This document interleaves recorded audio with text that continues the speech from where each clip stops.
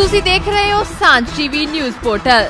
ਦਿੱਲੀ ਵਿਖੇ ਸ੍ਰੀ ਗੁਰੂ ਰਵਿਦਾਸ ਮਹਾਰਾਜ ਜੀ ਦਾ ਮੰਦਿਰ ਤੋੜੇ ਜਾਣ ਮਗਰੋਂ ਪੰਜਾਬ ਭਰ ਵਿੱਚ ਧਰਨੇ ਪ੍ਰਦਰਸ਼ਨ ਕੀਤੇ ਜਾ ਰਹੇ ਹਨ ਅਤੇ ਦਲਿਤ ਸਮਾਜ ਵਿੱਚ ਇਸ ਨੂੰ ਲੈ ਕੇ ਵੱਡਾ ਰੋਸ ਪਾਇਆ ਜਾ ਰਿਹਾ ਹੈ। ਉੱਥੇ ਹੀ ਇਸ ਮਸਲੇ ਨੂੰ ਲੈ ਕੇ ਦਲਿਤ ਸਮਾਜ ਦੇ ਵੱਡੇ ਲੀਡਰ ਪੰਜਾਬ, ਦਿੱਲੀ, ਉੱਤਰਾਖੰਡ ਯੂਪੀ ਦੇ ਐਮਐਲਏ ਅਤੇ ਐਮਪੀ ਸਾਹਿਬਾਨ ਸ੍ਰੀ ਗੁਰੂ ਰਵਿਦਾਸ ਰਾਸ਼ਟਰੀ ਧਰਮ ਪ੍ਰਚਾਰ ਕਮੇਟੀ ਦੇ ਬੈਨਰ ਹੇਠ ਦਿੱਲੀ ਪਹੁੰਚੇ, ਜਿਸ ਵਿੱਚ ਪੰਜਾਬ ਤੋਂ ਹੰਸਰਾਜ ਹੰਸ, ਸਾਬਕਾ ਮੰਤਰੀ ਵਿਜੇ ਸਾਂਪਲਾ, ਸਾਬਕਾ ਐਮਐਲਏ ਅਵਿਨਾਸ਼ ਚੰਦਰ ਰਜੇਸ਼ ਬਾਗਾ, ਡਾਕਟਰ ਚਰਨਜੀਤ ਸਿੰਘ ਅਟਵਾਲ, ਜਰਨੈਲ ਨੰਗਲ, ਵਿਜੇ ਦਾਨਵ, ਦਵਿੰਦਰ ਕੌਲਥਮ, ਚੰਦਨ ਗਰੇਵਾਲ ਤੋਂ ਇਲਾਵਾ ਹੋਰ ਵੱਡੀ ਲੀਡਰਸ਼ਿਪ ਪਹਿਲਾਂ ਕੇਂਦਰੀ ਮੰਤਰੀ ਸੋਮ ਪ੍ਰਕਾਸ਼ ਦੇ ਦਿੱਲੀ ਗ੍ਰਹਿ ਵਿਖੇ ਪਹੁੰਚੀ, ਜਿੱਥੇ ਉਹਨਾਂ ਕੇਂਦਰੀ ਮੰਤਰੀ ਸੋਮ ਪ੍ਰਕਾਸ਼ ਨੂੰ ਨਾਲ ਲੈ ਕੇ ਕੇਂਦਰੀ ਮੰਤਰੀ ਥਾਵਰਚੰਦ ਗਹਿਲੋਤ ਅਤੇ ਸ਼ਹਿਰੀ ਵਿਕਾਸ ਮੰਤਰੀ ਹਰਦੀਪ ਪੁਰੀ ਨੂੰ ਮਿਲੇ, ਜਿੱਥੇ ਇਹਨਾਂ ਆਗੂਆਂ ਨੇ ਸ੍ਰੀ ਗੁਰੂ ਰਵਿਦਾਸ ਜੀ ਦੇ ਮੰਦਰ ਨੂੰ ਮੁੜ ਬਣਾਉਣ ਦੀ ਬੇਨਤੀ ਕੀਤੀ। ਇਸ ਮੌਕੇ ਭਾਜਪਾ ਦੇ ਕੇਂਦਰੀ ਮੰਤਰੀ ਸੋਮ ਪ੍ਰਕਾਸ਼ ਕੈਂਥ ਨੇ ਕਿਹਾ ਕਿ ਉਹ ਅੱਜ ਰਾਜ ਮੰਤਰੀ ਹਰਦੀਪ ਪੁਰੀ ਨੂੰ ਮੰਗ ਪੱਤਰ ਦੇਣ ਆਏ ਸੀ। ਜੋ ਕਿ ਦਿੱਲੀ ਵਿਖੇ ਸੁਪਰੀਮ ਕੋਰਟ ਦੇ ਆਦੇਸ਼ ਤੇ ਤੁਗਲਕਾਬਾਦ ਵਿਖੇ ਸ੍ਰੀ ਗੁਰੂ ਰਵਿਦਾਸ ਜੀ ਦਾ ਮੰਦਰ ਤੋੜਿਆ ਗਿਆ ਹੈ।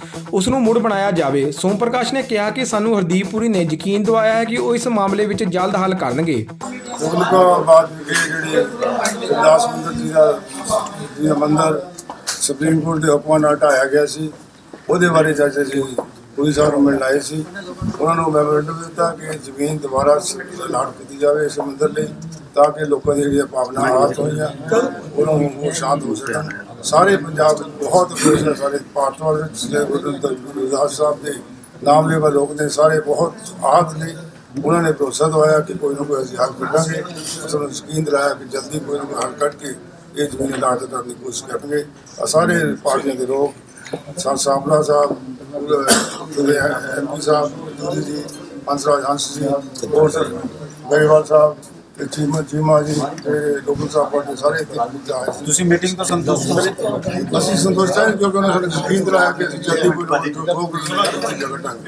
ਕੋਈ ਰਿਵਿਊ ਪਟੀਸ਼ਨ ਵੀ ਪਾਈ ਜਾਏਗੀ ਸੁਪਰੀਮ ਕੋਰਟ ਦੇ ਵਿੱਚ ਇਹਦੇ ਬਾਰੇ ਜੋ ਵੀ ਕਰਨਾ ਪਿਆ ਕਰਾਂਗੇ ਜੀ ਨਾਲ ਸਲਾਹ ਕਰਕੇ ਭਾਜਪਾ ਦੇ ਕੇਂਦਰੀ ਮੰਤਰੀ ਹੰਸਰਾਜ ਹੰਸ ਨੇ ਕਿਹਾ ਕਿ ਜਿਨ੍ਹਾਂ ਨੇ ਬੇਗਮਪੁਰਾ ਸਾਂਝੀਵਾਲਤਾ ਦੀ ਗੱਲ ਆਖੀ ਸੀ, ਅੱਜ ਉਹਨਾਂ ਦਾ ਮੰਦਰ ਤੋੜਿਆ ਗਿਆ ਹੈ, ਜਿਸ ਨਾਲ ਲੋਕਾਂ ਨੂੰ ਦੁੱਖ ਪਹੁੰਚਿਆ ਹੈ। ਹੰਸਰਾਜ ਹੰਸ ਨੇ ਕਿਹਾ ਕਿ ਉਹਨਾਂ ਨੂੰ ਪੂਰੀ ਆਸ ਹੈ ਕਿ ਹਰਦੀਪ ਪੁਰੀ ਜਲਦ ਹੀ ਹੱਲ ਕਰਨਗੇ। ਉੱਥੇ ਹੀ ਹੰਸਰਾਜ ਹੰਸ ਨੇ ਲੋਕਾਂ ਨੂੰ ਅਪੀਲ ਕੀਤੀ ਕਿ ਇੰਤਜ਼ਾਰ ਕਰੋ ਅਤੇ ਸ਼ਾਂਤੀ ਬਣਾਈ ਰੱਖੋ।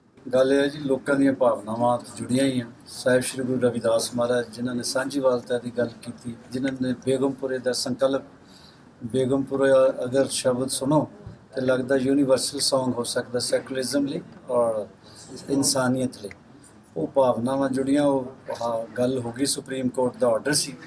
ਅੱਜ ਪੁਰੀ ਸਾਹਿਬ ਨੂੰ ਮਾਨਯੋਗ ਮਿਨਿਸਟਰ ਸਾਹਿਬ ਨੂੰ ਮਿਲੇ ਸਮੂਹ ਪਾਰਟੀਆਂ ਸਮੂਹ ਪੂਰੇ ਪੰਜਾਬ ਦੇ ਪ੍ਰੋਮੀਨੈਂਟ ਲੋਕ ਆਏ ਸਾਰਿਆਂ ਨੇ ਮਿਲੇ ਆ। ਉਹਨਾਂ ਨੇ ਬੜ- ਯਕੀਨ ਦਿਵਾਇਆ ਕਿ ਇਹਦਾ ਕੋਈ ਸੋਲੂਸ਼ਨ ਕੱਢਦੇ ਔਰ ਜਲਦੀ ਕੱਢ ਕੱਢਦੇ ਮੇਰੀ ਇਹ ਬੇਨਤੀ ਹੈ ਸਾਰੇ ਸਮੂਹ ਪੰਜਾਬੀਆਂ ਨੂੰ ਕਿ ਜਸਟ ਵੇਟ ਸ਼ਾਂਤੀ ਨਾਲ ਤੁਸੀਂ ਆਪਣੀ ਗਲਤ ਰੱਖ ਸਕਦੇ ਆ, ਕੋਈ ਐਸਾ ਸ਼ਾਂਤੀ ਭੰਗ ਨਾ ਹੋਵੇ, ਇਹ ਜ਼ਰੂਰ ਅਪੀਲ ਹੈ। ਜ਼ਿਕਰਯੋਗ ਹੈ ਕਿ ਕੇਂਦਰੀ ਮੰਤਰੀ ਨੇ ਕੱਲ ਸਾਂਝ ਟੀਵੀ ਤੇ ਦਿੱਤੀ ਇੰਟਰਵਿਊ ਵਿੱਚ ਕਿਹਾ ਸੀ ਕਿ ਉਹ ਸੀਨੀਅਰ ਲੀਡਰਸ਼ਿਪ ਨਾਲ ਗੱਲਬਾਤ ਕਰਕੇ ਇਸ ਮਸਲੇ ਨੂੰ ਸੁਲਝਾਉਣ ਦੀ ਗੱਲ ਕਰਨਗੇ।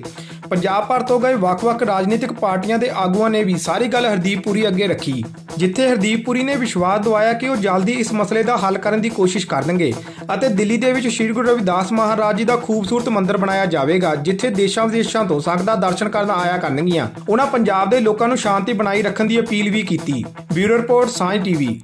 ਨਵੀਆਂ ਤੇ ਤਾਜ਼ਾ ਖਬਰਾਂ ਸਭ ਤੋਂ ਪਹਿਲਾਂ ਵੇਖਣ ਲਈ ਸਾਡਾ YouTube ਚੈਨਲ ਸਬਸਕ੍ਰਾਈਬ ਕਰੋ। ਸਾਂਝ ਟੀਵੀ ਤੇ ਸਿਰਫ ਖਬਰਾਂ ਜਾਣਨ ਦੇ ਲਈ ਨਹੀਂ, ਸੱਭਿਆਚਾਰਕ ਪ੍ਰੋਗਰਾਮ, ਖਾਸ ਮੁਲਾਕਾਤ ਖਾਸ ਮੁਲਾਕਾਤ ਦੇ ਵਿੱਚ ਸੋਸ਼ਲ ਇਸ਼ੂ ਪੋਲਿਟੀਕਲ ਇਸ਼ੂ ਇਹਨਾਂ ਸਾਰੇ ਇਸ਼ੂਜ਼ ਨੂੰ ਜਾਣਨ ਦੇ ਲਈ ਸਬਸਕ੍ਰਾਈਬ ਕਰੋ ਆਪਣਾ YouTube ਚੈਨਲ ਸਾਂਝ ਟੀਵੀ